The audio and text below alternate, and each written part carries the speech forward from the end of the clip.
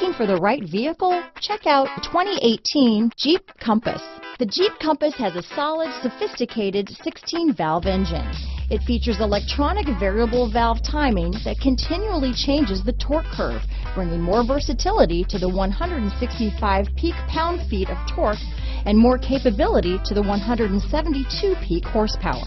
This vehicle has less than 45,000 miles. Here are some of this vehicle's great options. Backup camera, steering wheel audio controls, keyless entry, traction control, stability control, anti-lock braking system, Bluetooth, leather wrapped steering wheel, adjustable steering wheel, power steering, keyless start, cruise control, four wheel drive, four wheel disc brakes, floor mats, aluminum wheels, climate control, rear defrost, AM FM stereo radio. If affordable style and reliability are what you're looking for, this vehicle couldn't be more perfect. Drive it today.